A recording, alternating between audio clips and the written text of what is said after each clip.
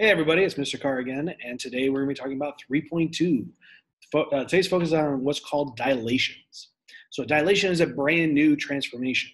Transformation in which, in this case, it's a transformation in which a polygon is uh, shrinking or expanding. Okay, by a given linear scale factor using a centered point. Okay, so this is a big difference from what we did before. When we did our rotations, translations, reflections, we retained the same size and shape. Those were rigid transformations.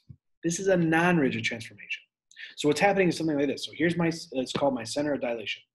Here's my hand is a little bit shrunken here, but then when I dilate it, I might expand it. So it gets bigger from that point. Or I shrink it down. So it's either one. A dilation is going getting bigger or getting smaller. Dilations, so one thing to remember is they do not change the measures of the angles. So even though the sides are changing and the shape is staying the same, so if I take a triangle and I expand it, it's gonna be still a triangle. Those angles stay the same though, all right? And so what we're gonna talk about now is identifying our dilations. So one thing to always look for is my dilation is trying to describe going from non-prime to prime notation. Okay, and so we're going to. Uh, so the first thing we want to do is identify whether or not it's a reduction or an enlargement. So reduction is when it shrinks, enlargement is expanding. So I can see here it's going from prime, the bigger one, down to the smaller one. So this is a reduction. Then I want to find the scale factor. So just like yesterday's video, we're going to use K to describe the scale factor. All right. so our linear scale factor, we're going to always do it this way. We're going to do prime distance divided by the pre-image distance. Where do I end up divided by where I started? So in this case, when I look at distance, if I had the center, that would be helpful. But I'm actually, in this case, because they're two rectangles, I'm just going to compare the two side lengths that are corresponding. I'm going to pick easy ones, like this. C prime to B prime is 2. B, C to B is 4. So my K is going to go from prime, which is 2, over 4, the original pre-image. Well, let's reduce that, 1 half. My scale factor here is 1 half. Okay? And that's going to lead me to this next point. If my scale factor is less than 1, then the image is a reduction. So that's one thing to always be aware of. If you have a fraction, it has to be less than one for it to be a reduction right here. That leads me to the other one, which is if k is greater than one, then the image is an enlargement. Enlargement. So that's what we're seeing in this next one. Okay, in B, you can see how it's getting larger. Okay, it's going from this small square or rectangle to the big one. So we have an enlargement. And then I want to find the scale factor now. So again, I'm going to do the prime distance, which is going to give me, got to count out a bit. So we got one, two, three, four, five, six, seven, eight, nine. Whew. My original pre-image, one, two, three. Okay, so that means I get nine over three, which is the same as three over one. So there's my K there. It's 3 over 1. All right, so I would describe the whole thing as an enlargement by a scale factor of 3.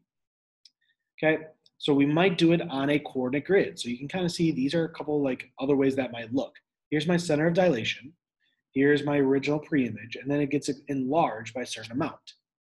So these distances here are also in that scale factor idea. Here's another one with a pentagon, right? One, two, three, four, five. Yeah, pentagon. So that smaller or that larger pentagon got shrunken down, got reduced to this one. And that center is right here. So that's what we're going to do on this one. We're going to look at how these look. The vertices of triangle ABC are A is at negative 3, 0. B is at 0, 6. 2, 3, 4, 5, 6. C is at 3, 6. So 1, 2, 3, right there. Okay. So I'm going to draw my triangle in. Use scalar multiplication to find a prime, b prime, c prime after a dilation with its center at, hmm, that's a typo, at the origin, and a scale factor of one third. Okay, so we've graphed ABC. I want to graph its image now.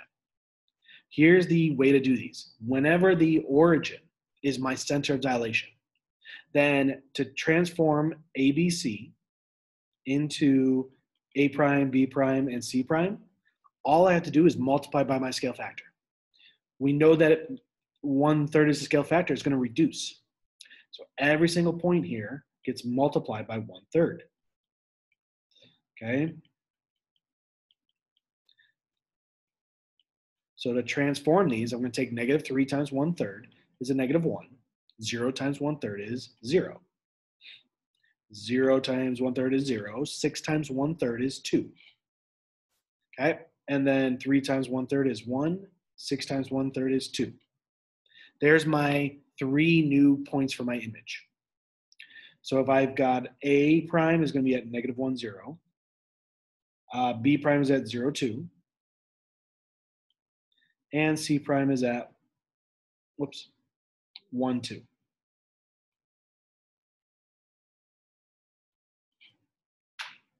Okay, so there's A prime, B prime, C prime. One thing I always like to highlight is the fact that if I draw a straight line connecting all of my images to pre-images, they all intersect at the center of dilation. Okay, so really the, the distance from the center of dilation to each point is what's being expanded or reduced. All right, example three, triangle ABC is dilated to form a triangle uh, A prime, B prime, C prime. If AB over A prime, B prime is seven, what is B prime, C prime over BC? It seems like it's a, a little bit of a tricky one because I don't have an image. I don't have any kind of uh, diagram to go off of. But here's what I know in the first case, I have the pre-image over the image. In the second case, I have image over pre-image because the prime is on top. All that means is if pre-image over image is 7 over 1, I'm just flipping to reciprocal. Image over pre-image is 1 over 7. That's it.